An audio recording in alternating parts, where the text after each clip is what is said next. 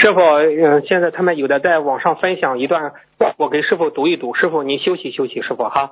嗯嗯。他说：师嗯，师傅，弟子在观音堂念经时，突然到地府阎罗殿准备听审，在场有观世音菩萨、佛陀与师傅，以菩萨的形象，阎罗王道初一十五，佛菩萨日子是学佛人念经许愿、度人行善双倍福德的一天。当天会有许多佛菩萨、护法神与天官会到世间，给行善者加分、护持与庇佑他们。可惜的是，佛菩萨的大日子也是不知者造业的一天。小童子，请好好聆听记录。说完后，阎罗王大喊：“把罪灵带进来，准备审判。”这时，就有两名地府的官员把至少十二名罪灵带到阎罗王前。有一半的罪灵是心灵法门的同修，另一半是余商做佛台印书的老板。阎罗王看到罪灵们后非常愤怒，指着罪灵们大喊：“你们这些骗子，胆子真可大，竟敢借佛敛财，欺骗佛友，造下了如此大业！”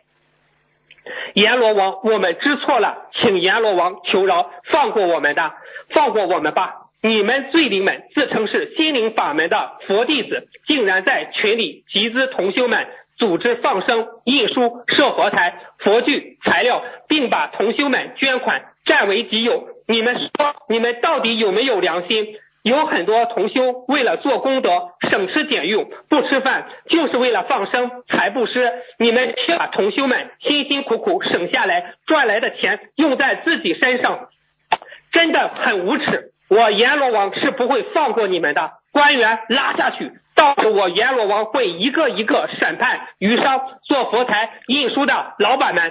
你们也与同修一样，在佛友们推广推销自己卖的鱼、佛台的材料、佛具、印书的价格最便宜。其实，其实你们根本没有帮同修们放生，这些业障由们由你们自己来背。佛台的材料、佛具、印书的发票、证据都是假的。我阎罗王不会让你们再伤害心灵法门的同修，不知 真的很可悲，也是很可怜。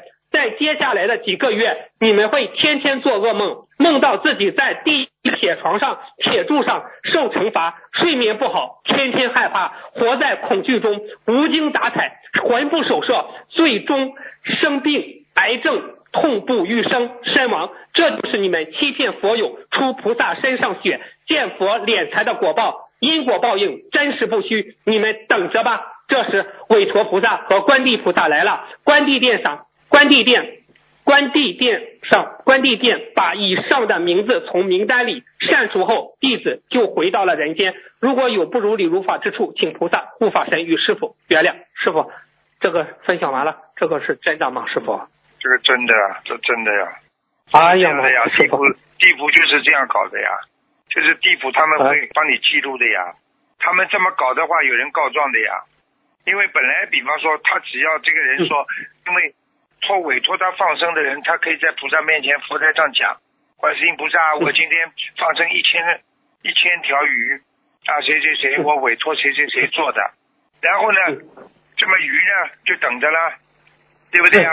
好了。对，到最后你不放它，那那些鱼不要叫冤的，对不对啊？哎呀，对对对。然后去告状呀，还有地府知道你今天要，你看这一千块钱被他们弄去了，啊，就他要惩罚了，记账了，所以他以为不知道，天上知道他亏大了，他以后不是说赚了这点钱的问题，他生起病来吃一个药就几万了，他根本划不来的，到了晚年。明白了吗？哎，是，明白了，明白了。你你想想看，你想想看，地府现在开始的惩罚是让你生病啊，晚上做噩梦啊，这种啊，什么都来了。到了最后，你自己慢慢慢慢的，你就得癌症了呀！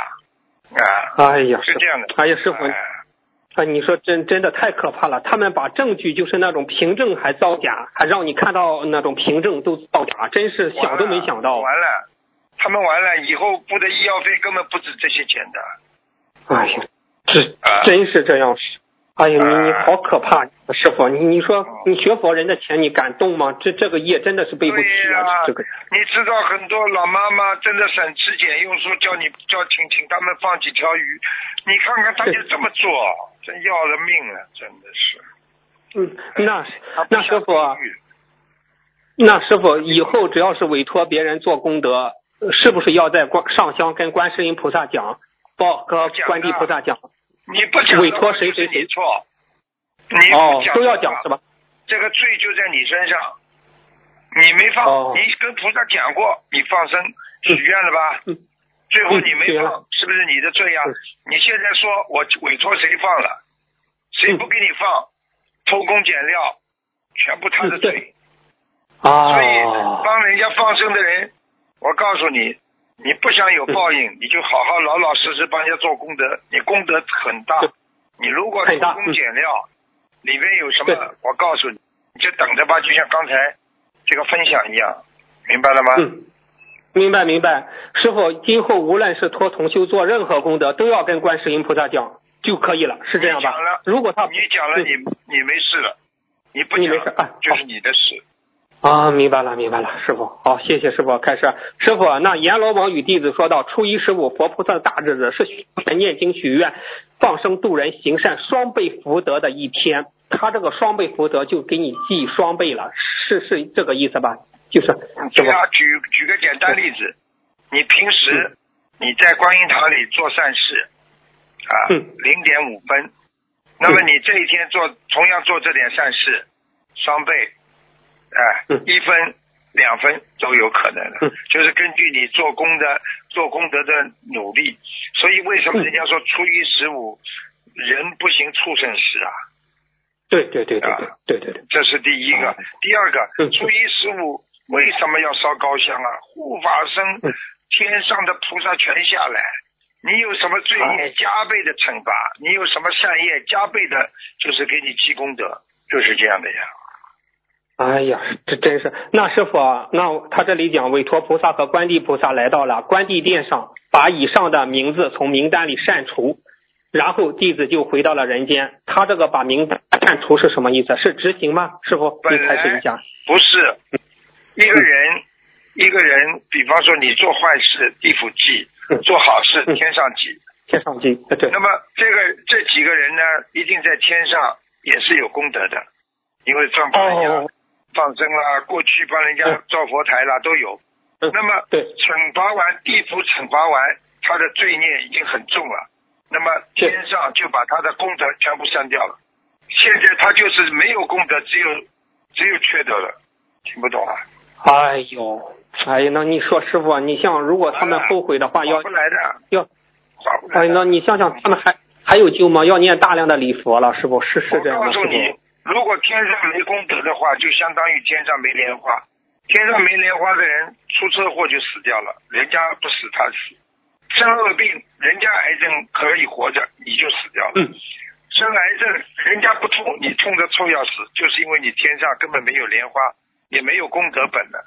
你没有功德可以抵消了呀，听不懂啊？听得懂，听得懂。那师傅，这个梦境就是在警警示他们了，你们要好好的知知错迷反了，是这样吗？对呀，对呀，对呀，对呀，对呀。哎呦，真是哎，触目惊心啊！师傅，这个，这个，这个，这个，嗯，嗯，好，谢谢师傅的开示。